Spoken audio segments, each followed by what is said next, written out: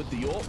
Molotov there to try and stop the push, but it won't be doing too much on that front because imoRR has gone in for the first entry and Xantares is up close and he's delivering with more frags. Already up to 11 in total as we just move towards the latter was there or thereabouts, but some of the frags that imoRR got, those two kills he got in mid, for example, a couple rounds ago, oh, were just yeah. mind-blowing. Like, they were two completely different angles. Speaking of him, he gets the kill on maden slightly through okay. the wall. They do have those saved weapons to work with. I say that one of the weapons will be taken care of, and a 5-7 from Xantares and a scout from Woxic to answer back. Woxic would get another kill with the scout, and a third as well. What is going on?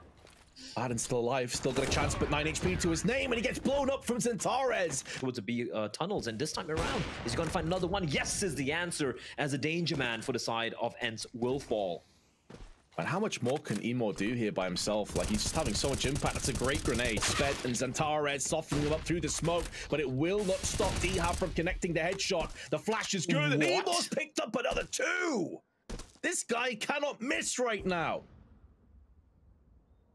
I have no idea how imoRR gets the second one. That's just ridiculous Hades walking in through the smoke, trying to be cheeky, leaving it all on Snappi. The captain in a 1v4. So much done, but just moving around right now. He's going to be heading towards T-spawn, coming up towards mid, looking to cut off rotation, looking to gather information what? as Woxic. What was that? And ENCE really started to step up. Those shots not connecting. Looked on, but Hades is going to get punished from Woxic, the leading tower of Turks. He's going to be haunting the nightmares events. He's still alive here towards LT. He's going to get one. Sprays in for a second and spills the bomb down. As has so often been the case, imoRR comes out clutch when it's required. And maden is going to get pincered and overwhelmed. Spinx in a one on five. Molly tossed in, bomb spilled out, and there's Woxic. We head to OT. imoRR spawn için kullanacak bunu. Sonra dönecek tekrar keleşine. Acaba yakalayabildi mi? Smoke'tan güzel bir flick attı. İlk yarı Hades atmıştı aynısını. Immortal bir kez daha flickle Snappy yakalıyor uzunda. Deagles though, so need to be a little wary. Xantares not taking too much damage. He's going to be okay with that. A1's all around. But so far, it's been it's been a very solid start indeed for Eternal Fire, right? Apart from round number two, where they allowed ENCE to get the bomb down. Okay, just a wide swing. Hello, 80s. And good night the Zentara special! Three kills, all headshots. A man possessed, a man aggressive, and Calyx will stand his ground.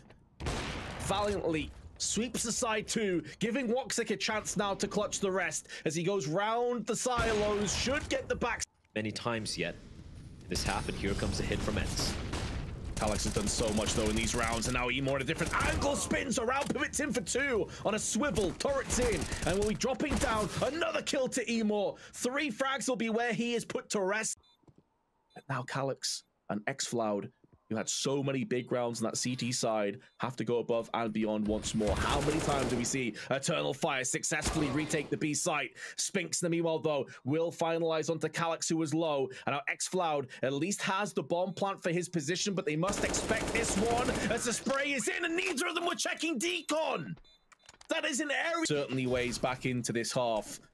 It's Woxic who goes down first. There is the M4. There is the M4 twice. And a third time as well from Xantares as he terminates all the oncoming T's. Him down. imoRR tries to go in for two, but it's only one. And as Xantares has been split apart as well. Woxic missing a very important shot. Gets the second though. And now D has less alive. He knows he's on the site and just flicks up. No defuse required because Woxic locks it down by himself.